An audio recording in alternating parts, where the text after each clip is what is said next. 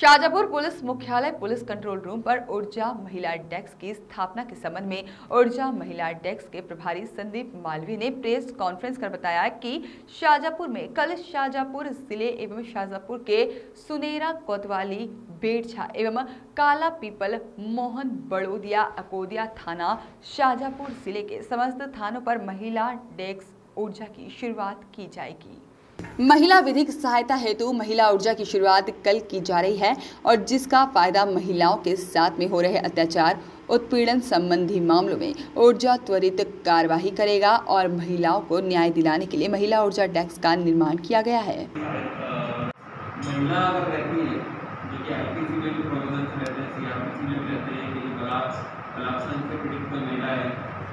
तो महिला अधिकारी उसका पठन लेगी या इस टाइप की जो भी प्रोविजंस है I P C C R P C हो या हमारे वरिष्ठ अधिकारियों के, या वरिष्ठ कार्यालय के, या फिर सुप्रीम कोर्ट के। तो इसके तारतम्य ये महिला डेस्क का इनिशिएटिव जो है, वो गृह मंत्रालय, भारत सरकार का है। तो उसी के अंतर्गत पूरे देश में और पूरे प्रदेश में, सभी जिलों में ये आयोजन किया जा रहा है। तो कल इसका उद्घाटन है, इकतीस मार्च को। इकतीस मार्च को कल साढ़े चार बजे से लेकर एन आई सी में इसका उद्घाटन रखा गया है। और राज्य विधिक सेवा प्राधिकरण के माननीय न्यायाधिपति श्रीवास्तव सर इसको इनाग्रेट करेंगे बीसी के माध्यम से।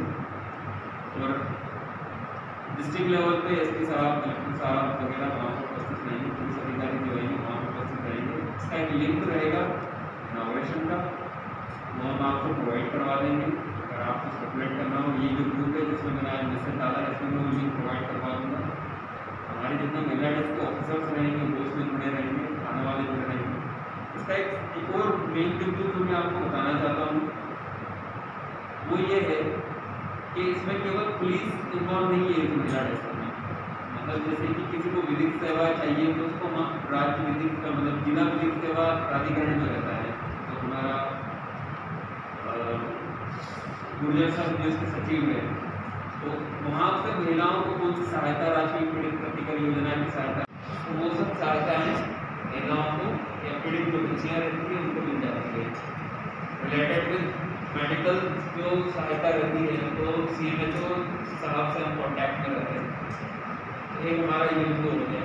फिर महिला डेस्क की स्थापना के संबंध में जो इंफ्रास्ट्रक्चर रहता है स्तर पर जो कल ऊर्जा महिला डेस्क का शुभारंभ किया जा रहा है, इसी के संबंध में पुलिस मुख्यालय के निर्देशों के पालन में हमने आज प्रेस कॉन्फ्रेंस रखी है। ऊर्जा महिला डेस्क के संबंध में जो भी जानकारियाँ थी, वो हमने मीडिया से शेयर की है और कल अधिक से अधिक संख्या में एन के थ्रू और जो वेब लिंक हमें प्रोवाइड की जाएगी उसके थ्रू लोगों को जोड़ने के लिए आज प्रेस कॉन्फ्रेंस